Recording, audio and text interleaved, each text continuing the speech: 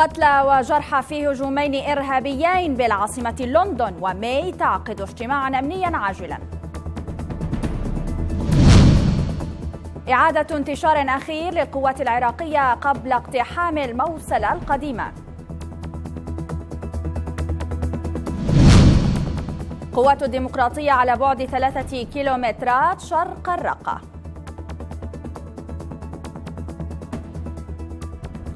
أهلا بكم مشاهدينا إلى نشرة أخبار اليوم. نبدأ نشرتنا من بريطانيا. اذ أكدت الشرطة البريطانية مقتل ستة أشخاص بالإضافة إلى ثلاثة مهاجمين في عدد من الاعتداءات وسط العاصمة البريطانية لندن. فيما ارتفع عدد الجرحى في المستشفيات بعد هجوم لندن إلى 48 شخصا. وكان شهود أفادوا بأن سيارة دهست عددا من المرة على لندن بريدج. كما قالت الشرطة إن رجلين دخلا مطعما في منطقة بارا ماركت قرب الجسر وطعنا شخصين داخل المطعم.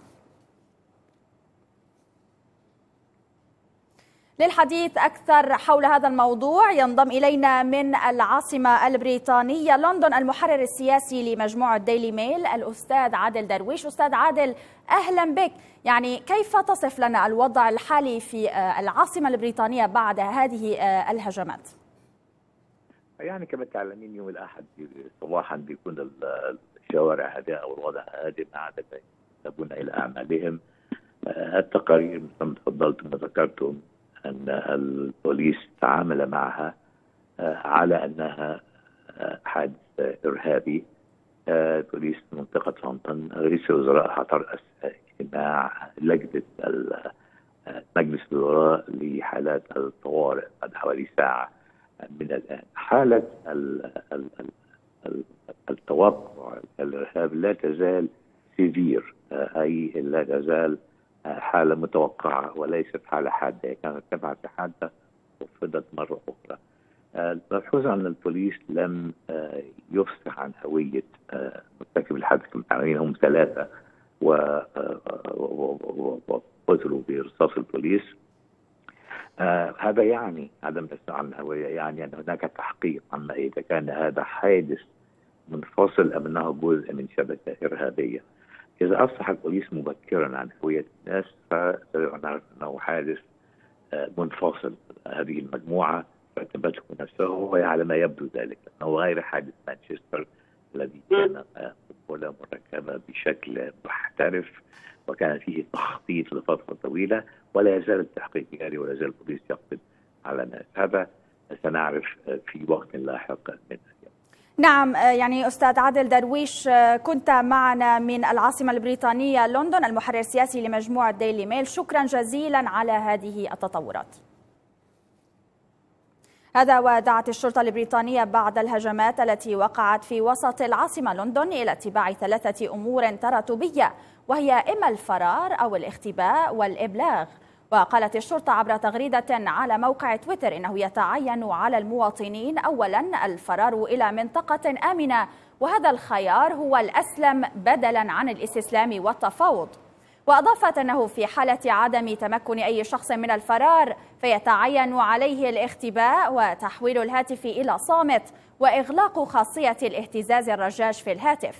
أما الخيار الأخير فهو الإبلاغ للشرطة عبر رقم هاتف الطوارئ عندما تكونون في مكان آمن. لقد نالت العاصمة البريطانية لندن نصيبها من الهجمات الإرهابية والجرائم في الآونة الأخيرة. هجوم جسر لندن يعيد إلى الذاكرة أبرز الهجمات الإرهابية التي شهدتها لندن في السنوات الأخيرة. ففي السابع من يوليو 2005 يعد الحدث الإرهابي الأبرز في تاريخ بريطانيا المعروف ب 77 حيث قتل 52 شخصا وأصيب المئات عندما فجر أربعة انتحاريين أنفسهم في محطة للقطارات والحافلات في وسط العاصمة لندن. وفي التاسع والعشرين من يونيو 2007 انفجرت سيارتان مفخختان بعد يومين من تشكيل حكومة جديدة برئاسة جوردن براونز وارتبط الانفجار بهجوم وقع في مطار غلاسكو الدولي في اليوم التالي. وفي الثاني والعشرين من مايو عام 2013 قتل جندي بريطاني بعدما دهسه شخصان وهاجماه بالسكاكين في حي ووليتش. الشرطة اعتقلت المنفذين وحكم عليهما بالسجن مدى الحياة.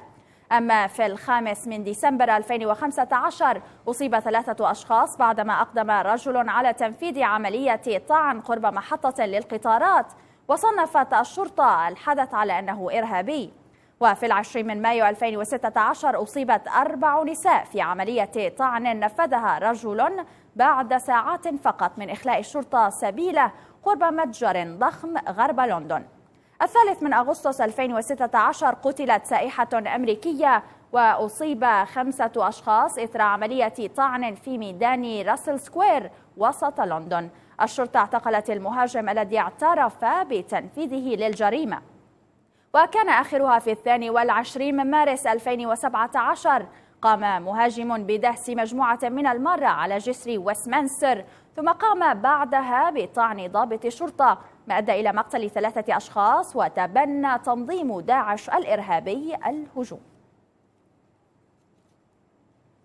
قالت وسائل إعلام بريطانية أن اجتماعا أمنيا عاجلا برئاسة رئيسة الوزراء تيريزا ماي عقد عقب الهجمات التي استهدفت لندن. ودعت الشرطة البريطانية المواطنين عبر تويتر للفرار من منطقة الهجوم والاختباء ونشر التحذيرات والتواصل الفوري مع الشرطة في حال الاشتباه بأي عمل إرهابي. قال الرئيس الفرنسي إيمانويل ماكرون أن فرنسا تقف أكثر من أي وقت مضى إلى جانب بريطانيا بعد الهجمات في وسط لندن حيث قامت حافلة بدهس مرة كما تعرض عدة أشخاص للطعن. وقال ماكرون في تغريدة في وجه هذه المأساة الجديدة إن فرنسا هي أكثر من أي وقت مضى جنبا إلى جنب مع بريطانيا ونحن مع الضحايا وأقاربهم. في الشأن العراقي استكملت القوات العراقية المشتركة إعادة انتشارها الأخير قبل اقتحام الموصل القديمة حيث يتحصن مقاتلو داعش في محيط جامع النور الكبير وسط المنطقة. يتزامن هذا الوضع مع استمرار تقدم القوات العراقية في تحرير المناطق المحيطة بالموصل القديمة تمهيدا لاقتحامها. وسام يوسف والتفاصيل.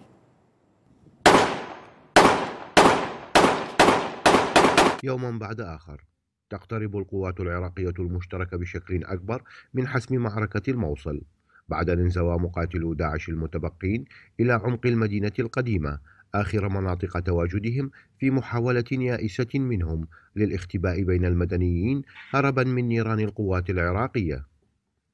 يعني الحمد لله خلال هاي 72 ساعة تم اقتحام الزنجيلي والشفاء والصحة من قبل الأجهزة الأمنية. قتلت العشرات من عندهم خلال هاي ال 72 ساعة. حققت تماس وتقدم جدا جيد بالمنطقة. فجرنا مجموعة من العجلات اللي آه، تركها العدو هو اللي هارب أمام القطعات آه، فقط في قاطع الرد السريع أكثر من أربع عجلات الآن تم الاستيلاء عليها. المعابر الآمنة التي أعلنت القوات العراقية تأمينها خلال الأيام الماضية وطلبت من الأهالي الخروج عبرها تحاول القوات العراقية جعلها تحت المراقبة على مدار الساعة من قبل القطعات على الأرض أو الطائرات المسيرة من الجو. يعني الحقيقة أنه التحدي الأكبر هو وجود المدنيين وأما باقي أساليب داعش من عجلات مفخخة وعبوات ناسفة وقناصين أعتقد أنه هذه أساليب تعودتها الأجهزة الأمنية وهي قادرة على أنه تحل آه هذه المشاكل. ولكن الحقيقة التحدي الأكبر هو وجود المدنيين وكثرة تواجد المدنيين في منطقة الزنجيل مقاتلو داعش بدأوا يتركون أسلحتهم. وحتى سياراتهم المفخخة بين الأحياء التي يتم تحريرها لتستولي عليها القوات العراقية المشتركة خاصة مع النقص الذي بات يواجهه التنظيم بالانتحاريين. ومقتل المئات منهم خلال الأشهر الماضية من المعركة. نعم هم بصراحة مو تركوها محبة بأنه وما شابه ذلك لكن خوفا والرعب بعد ما يست... ما لحقوا بأنه يقومون بيحركونها من أماكنها بسبب فضل القوات الأمنية والمداهمة السريعة لهم مما أجبرهم على ترك العجلات في أماكنها. وضع القوات العراقية على الأرض بات مستعدا لمعركة الحسم في الأيام القليلة القادمة. وإعادة انتشار أخير لهذه القوات قد اكتمل.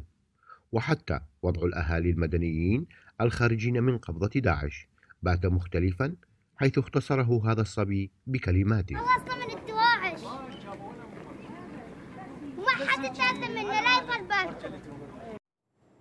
قتل وأصيب عدد من المدنيين أثناء توزيع مادة الطحين عليهم من قبل الجيش في حي العريبي شمال الموصل. جراء قصف بقذيفة هاون شنه تنظيم داعش في المدينة القديمة.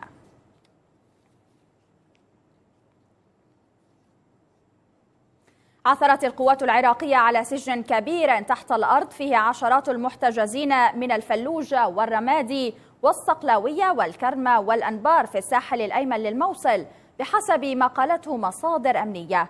وأضافت المصادر أنه تم الإفراج عن المحتجزين ونقلهم إلى موقع ثاني لتلقي العلاج والتدقيق الأمني وبيان سلامة المحتجزين وتسليمهم لذويهم. لنشرتنا بقية ولكن بعد هذا الفاصل.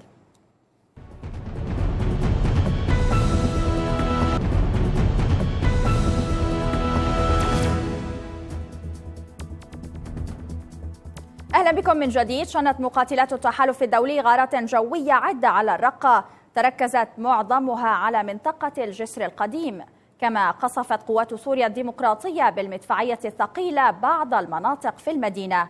واحترقت مساحات واسعة من حقول القمح والأراضي الزراعية في منطقة السحل بريف الرقة الغربي بسبب الاشتباكات الدائرة في المنطقة. ها هي قوات سوريا الديمقراطية عند الضفاف الجنوبية لنهر الفرات بالريف الغربي لمدينة الرقة تواصل التقدم لتحرير مدينة الرقة من داعش. تتسارع وتيرة المعارك في محيط الرقة وسط اشتباكات عنيفة تتواصل مع داعش في أطراف بلدة المنصورة التي تعد أكبر بلدة في ريف الرقة الغربي حيث دخلت إلى الجانب الجنوبي الغربي من المدينة.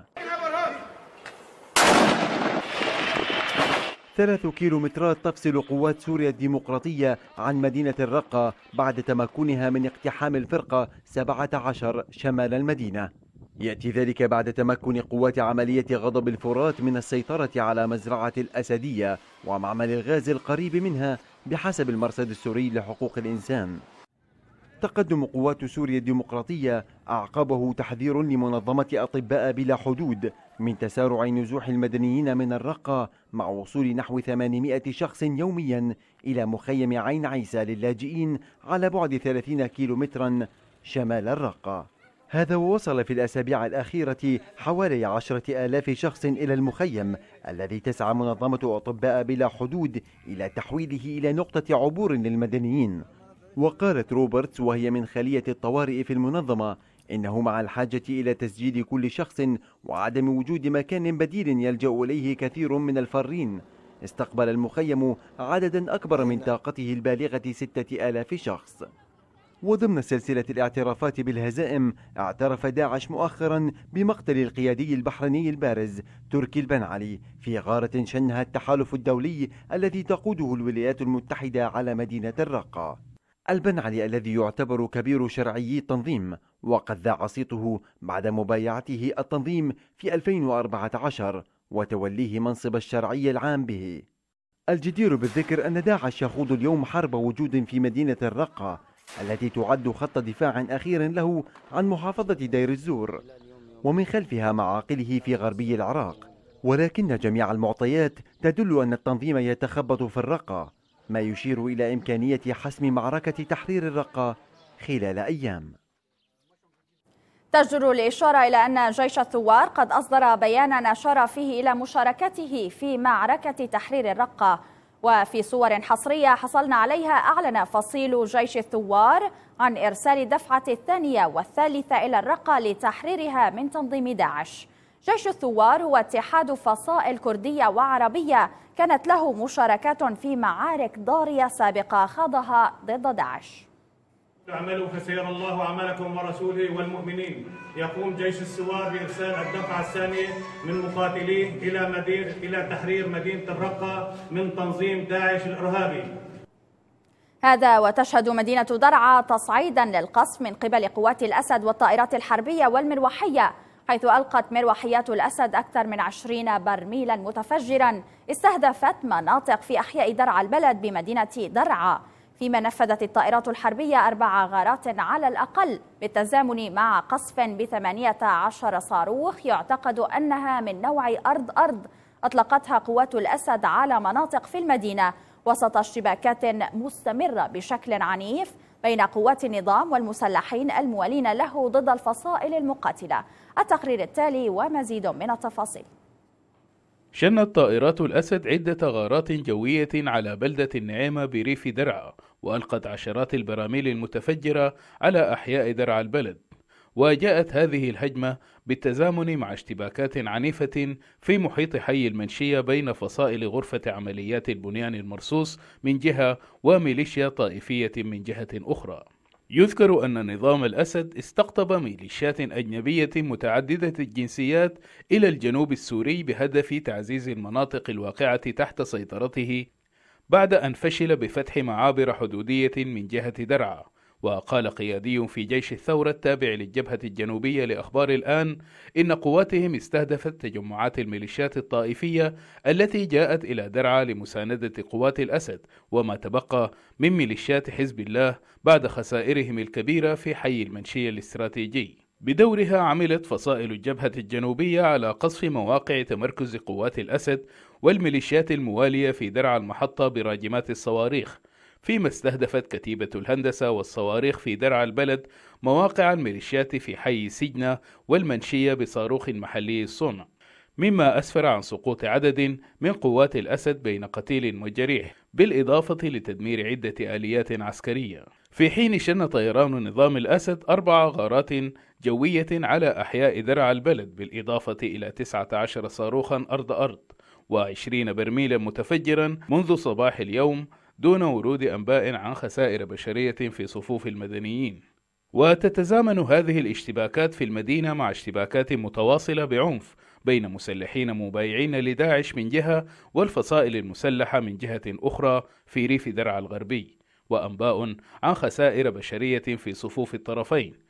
كما قصفت قوات الأسد مناطق في الطريق الواصل بين بلدتي مليحة العطش وبصر الحرير بريف درعا الشرقي ولم ترد أنباء عن إصابات. جدير بالذكر أن جولة الاشتباكات هذه التي شهدتها مدينة درعا اليوم تعد ثالث معركة عنيفة تشهدها المدينة منذ بدء تطبيق اتفاق وقف إطلاق النار في مناطق تخفيف التصعيد الممتدة من الشمال السوري إلى الجنوب السوري والتي تشمل محافظة إدلب وريفي حما وحمص الشماليين وغوطة دمشق الشرقية والجنوب السوري.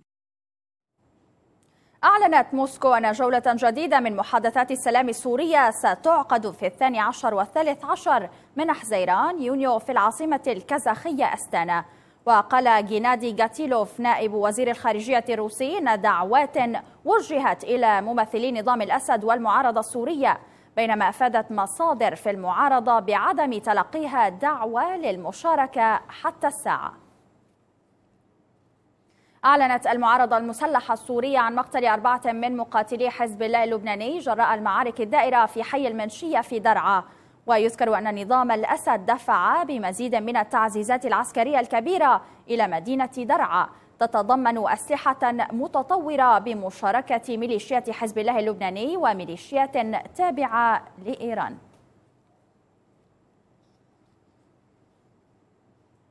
قالت وكالة الأمم المتحدة للطفولة يونيسف إن الكوليرا تنتشر بسرعة في اليمن وتقدر حالات الإصابة الجديدة يوميا ما بين 3000 و 5000 وقال المدير الإقليمي ليونيسف في الشرق الأوسط إنه وردت تقارير بسبعين ألف حالة إصابة على مدار الشهر الماضي في 19 من محافظات اليمن الاثنتين والعشرين. وأضاف أن ذلك العدد قد يتضاعف كل أسبوعين إن لم يتم توصيل المزيد من المساعدات. فقراتنا متواصلة وتجدون فيها بعد الفاصل. إيران تجمع ميسي ورونالدو فمن يتمتع بشعبية أكبر.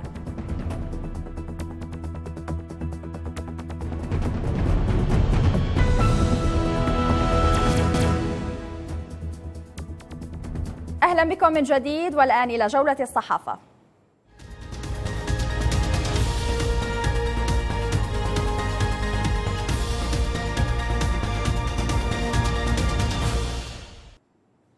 نبدأ جولتنا من صحيفة الوسط البحرينية التي عنونت مايكروسوفت تعيد تصميم سكايب وتضيف ميزة القصص. أعلنت شركة مايكروسوفت عن الجيل القادم من تطبيقها للتراسل سكايب حيث أعادت الشركة بناءه من الألف إلى الياء مما حسن إلى حد كبير من الطرق التي يمكن للمستخدم التواصل من خلاله من الأشخاص المفضلين لديه. وكانت ميزة الدردشة الجزء الأهم من هذا التحديث. أما صحيفة القدس فقد عنونت ماكينات لبيع نظارات سناب شات في أوروبا. أعلنت سناب شات وصول نظاراتها الرقمية سبيكتاكلز إلى أوروبا بعد أن كانت متوفرة فقط في الولايات المتحدة. وستباع النظارات عبر ماكينات تشبه تلك التي توفر المشروبات الغازية. وإلى صحيفة الغد الأردنية التي عنونت يمكنك الآن النوم في مطار دبي. دشن مطار دبي صالة كبائن النوم Sleep and Fly في المبنى رقم ثلاثة بالمطار ولم يكتف المطار بتوفير تلك الكبائن من أجل راحة المسافر المتعب بل حرص على رفاهيته أيضا. فصممت صالة كبائن النوم الجديدة وهي تشمل عشرين كابينة نوم عصرية. وإلى صحيفة اليوم السابع المصرية التي عنونت تقنية جديدة يمكنها توفير 40% من احتياجات العالم من الكهرباء. طور باحثون أمريكيون تقنية, تقنية جديدة تدمج أكثر الطرق فعالية المتاحة حاليا من أجل استخلاص الطاقة الناتجة عن الاختلافات في تركيز الملح في المياه. وتولد تقنية الدمج الجديدة كميات غير مسبوقة من الطاقة الكهربائية. وتعمل تلك التقنية الجديدة في الأماكن التي تلتقي فيها المياه المالحة والمياه العذبة. أما صحيفة القبس الكويتية فقد عنونت سويسرا تطلق أول وأضخم مصنع لتنقية الغلاف الجوي. أطلقت الشركة السويسرية Climeworks أول وأكبر مصنع في العالم لتنقية الغلاف الجوي للأرض من ثاني أكسيد الكربون. ويعمل المصنع بتقنية DAC أو ما يعرف بالتقاط الهواء مباشرة. وتستخدم هذه التقنية أو تستخدم مواد تصفية ليفية مكونة من الإسفنج المشبع بمواد كيميائية خاصة.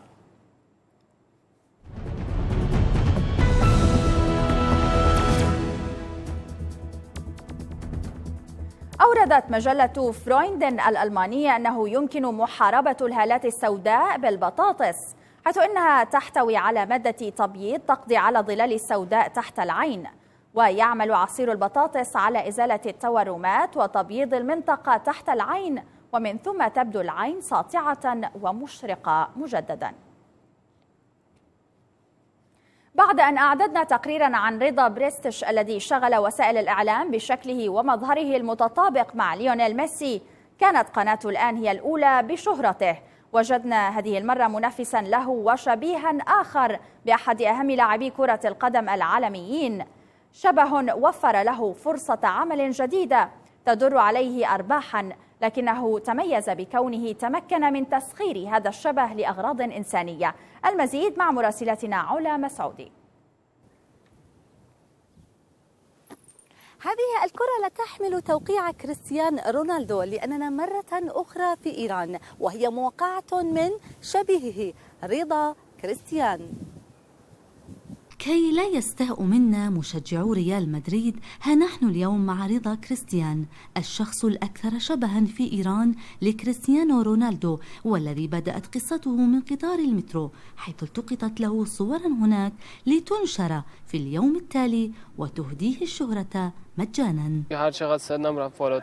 مع مرور الوقت استقرت معالم وجهي لأبدو أكثر شبها برونالدو وكانت الانطلاقة لي حين انتشرت صوري في قطار المترو على مواقع التواصل الاجتماعي. ويبدو أن حرب هذه المواقع المندلعة بين مشجعي ريال مدريد وبرشلونة طالت حتى شبيهيهما في إيران.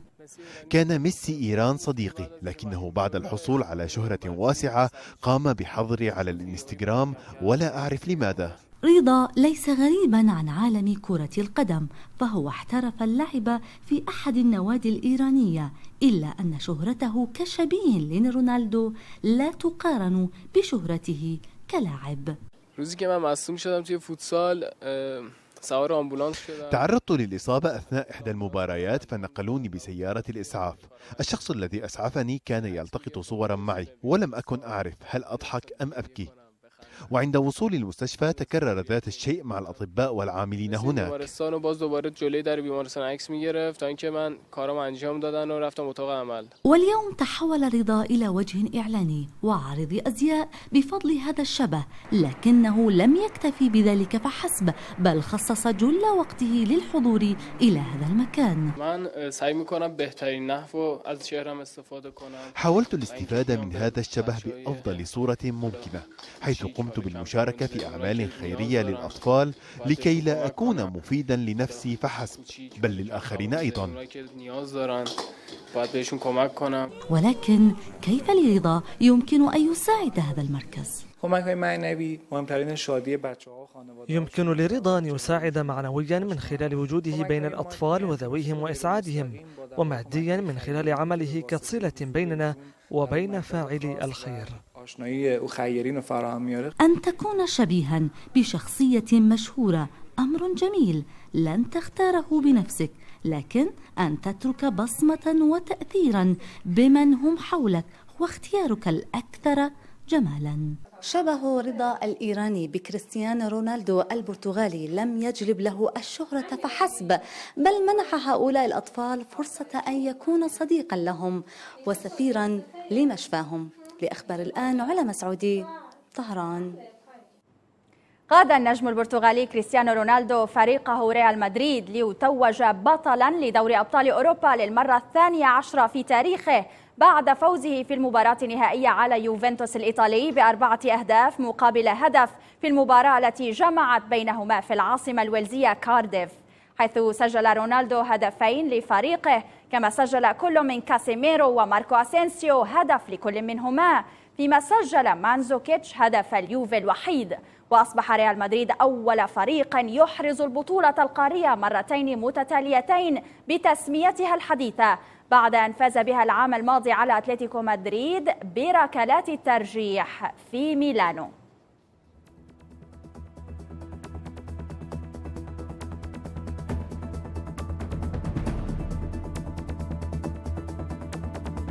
قبل أن نودعكم إليكم تذكير بأبرز العناوين. قتلى وجرحى في هجومين إرهابيين بالعاصمة لندن وماي تعقد اجتماعا أمنيا عاجلا. إعادة انتشار أخير للقوات العراقية قبل اقتحام الموصل القديمة قوات الديمقراطية على بعد ثلاثة كيلومترات شرق مدينة الرقة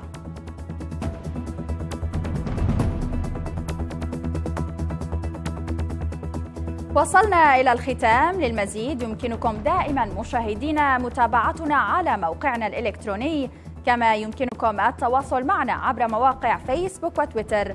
ويمكنكم أيضا مشاهدة بثنا المباشر في الموقع ذاته. شكرا للمتابعة. نلتقيكم بعد أقل من نصف ساعة في موجز للأخبار. إلى اللقاء.